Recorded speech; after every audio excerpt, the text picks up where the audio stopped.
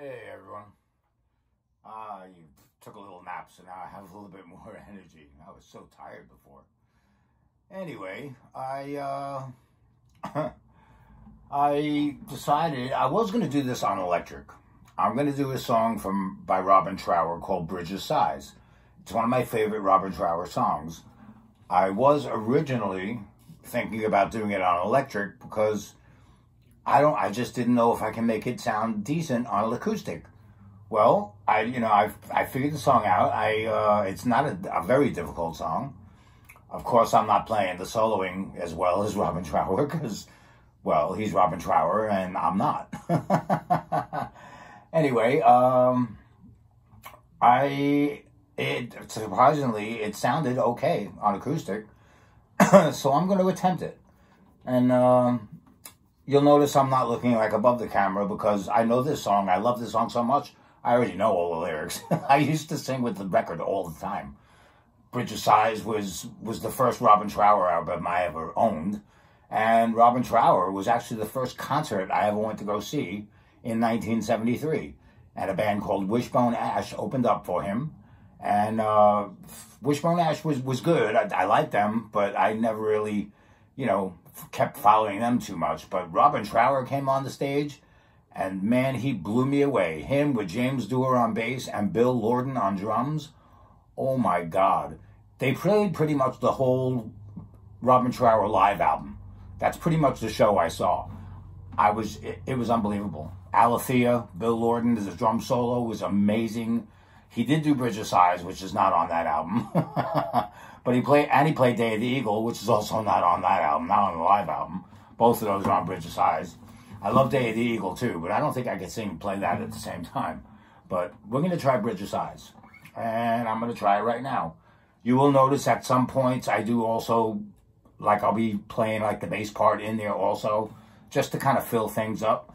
So since it's just me, and uh, that's it. Let's hope this goes well, and I don't have to do this too many times.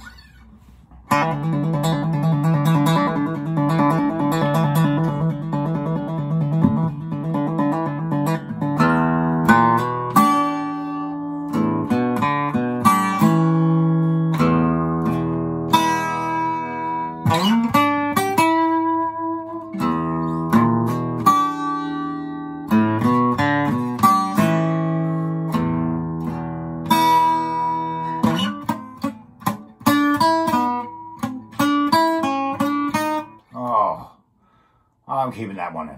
Let's try that again.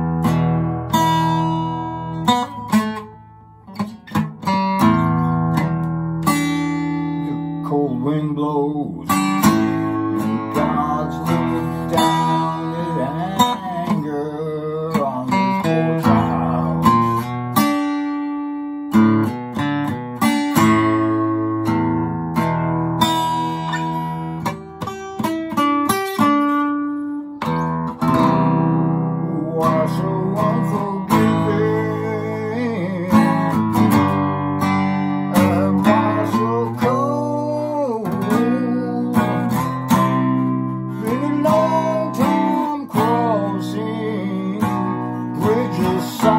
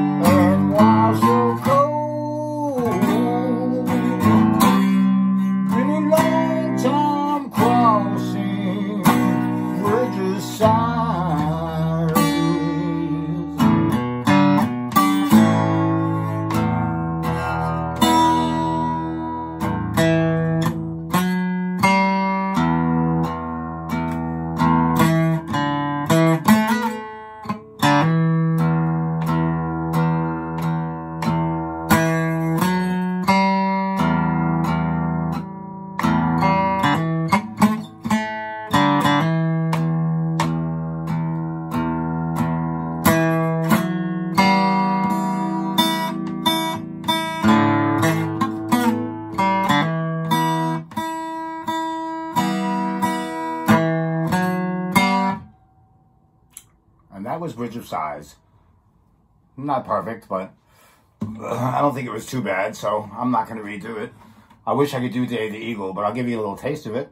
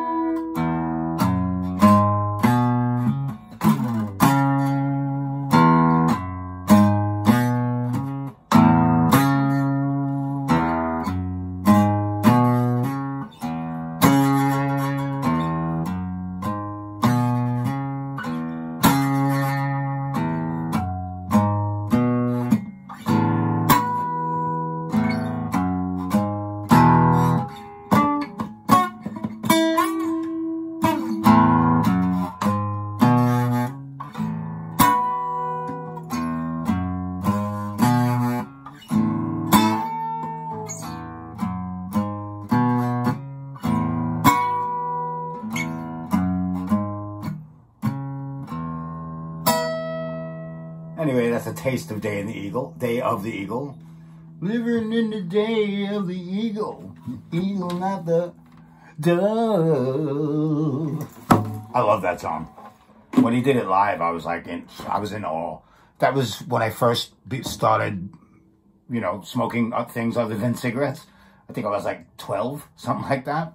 And uh, it was funny. I was sitting, it was on the side and it was up high. I think it was the green seats at the garden, which, you know, not the very, very top, but the section like just below that. And everybody, back then, everybody, it didn't matter if you had anything or not. Everybody passed everything around. You name it, it was going around. Nobody cared who took what. It, it, it was amazing. And, uh, you know, lighters lit and held up high after every song. You know, that was the whole 70s. Basically, the whole decade was like that. So, you know, that was really the, the most stoned I've ever been in my life. And I'm sitting there in my seat. And mind you, I'm like on the side of the stage. And I'm looking like across, and suddenly it was like the whole garden did this. Whoof. And now I'm looking straight down. It was the weirdest experience I have ever had, but wow. Uh, you know, I would smoke that stuff, you know, since then to this very day. It, well, if I can afford it. Right now, if somebody smokes it with me, I smoke it, but I can't afford to buy it yet. But I'm hopeful that at some point, once this whole crap is over, that could have been avoided. Thank you, Mr. Trump. I will, a friend of mine's going to get me a decent job, something not in construction, which I've done for 40 years and can't do anymore. And uh, I'll have a decent job and I'll, I'll get new equipment and I'm going to get a car and I'm getting myself back up on stage. and I talked to a very good friend of mine today. I haven't talked to him in over 30 years. We used to play together 35 years ago up in New York and if things go right, he might be moving down here. And to me, that was a sign. I'm like, okay, this is a sign of things to come. We are definitely getting on stage when he comes down here. One of the greatest guitar players I've played with. My last guitar player is really good too, but but this guy, I turned this guy on to things like Robin Trower and stuff like that, and his playing improved 150%. I've never seen anything like it. So I was very, very happy he reached out to me today and we connected. We reconnected. We were on the phone for quite some time. He actually sent me one of his songs and uh, we'll see what happens with it. I, I thought it was a great thing. All right, folks, I might be back. I'm thinking about covering, you won't believe this, a Judas Priest song, something off the British Steel album. I'm thinking very much about doing Breaking the Law on an acoustic. So if I'm able to do it, I might break my fingers doing it, but at least it won't be breaking the law. All right, maybe I'll see you in a little while. If not, you'll definitely see me tomorrow. You know that. Have a good one.